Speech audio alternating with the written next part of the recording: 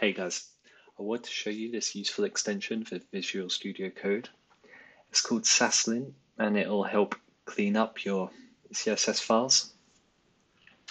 Now, to install this, you will need um, to install an npm package.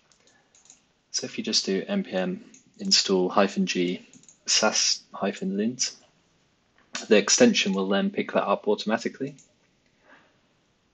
now, to see some of it in action, I've got an SCSS file here. You can see some green squiggly lines already from when I've been running it. If we run the show output command that Sass Lint has, is the only command there. We've got some problems. And now these all match the rules. So the problem is, or the warning, file extensions are not allowed. And that matches the clean import paths rule.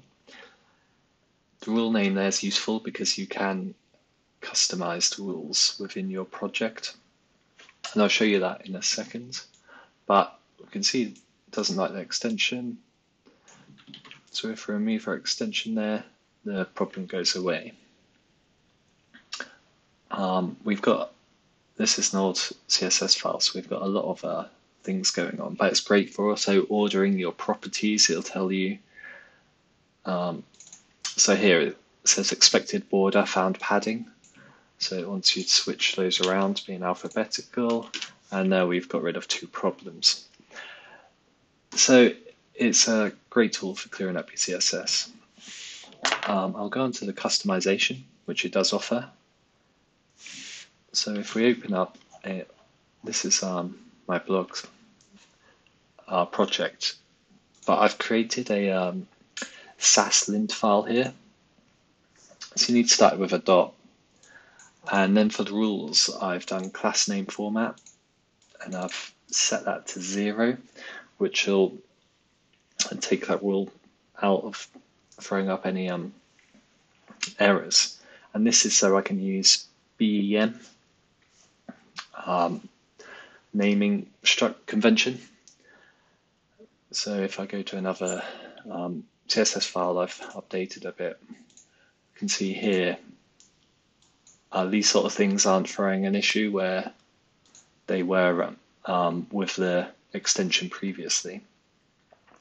And it also tells you things like to use variables if you're using hex codes. Um, we can probably see it here actually. Um, so let's run our command. Oh, run our command. Oh, not there. Okay. Run our command again.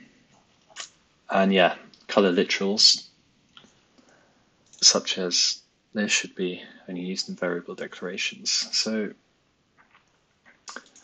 it's telling you to change that into something like um, light white, if that makes sense. And then that will get rid of the issue. Of course, you'll need to uh, define that somewhere. But yes, it's it's helped me clean clean up some of my um, other files without me having to um, rack my brain too much checking everything's in alphabetical and it's making sense that way. So one of those good extensions that Visual Studio Code has. Cheers guys.